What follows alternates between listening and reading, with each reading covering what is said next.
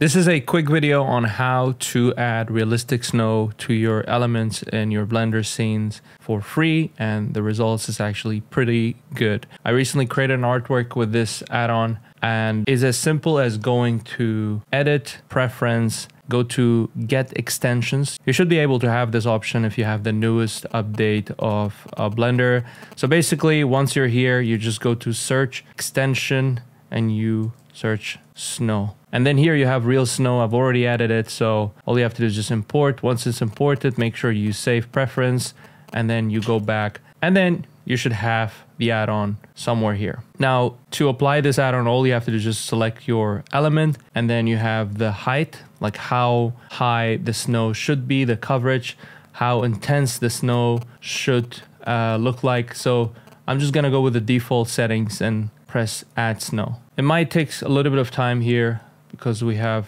a lot of physics to work with, but overall we should see a really good result. All right, and here we go. This is pretty good. I know, right? And even like you see the details, like, so the rooftop, as you can see, we had a couple unbalanced panels and it created a separation perfectly based on that. So you have really impressive result within few clicks and uh, I also have a bike here. So if you if you want to go with separate objects uh, separate elements within the object. So if you if you just go ahead and and maybe for this one I'm just gonna bring down the height and the coverage around 80% and then you should just go element by element and press add snow